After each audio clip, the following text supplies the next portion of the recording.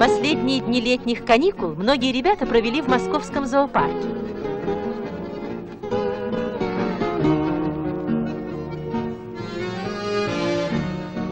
Здесь ребята увидели много интересного.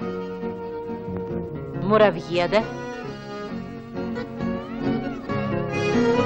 жителей юга зебр.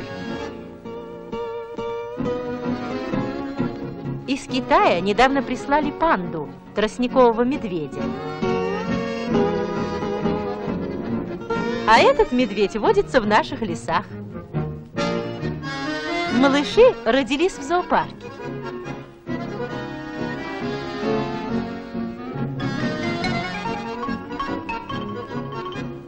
Родился здесь и маленький бегемотик.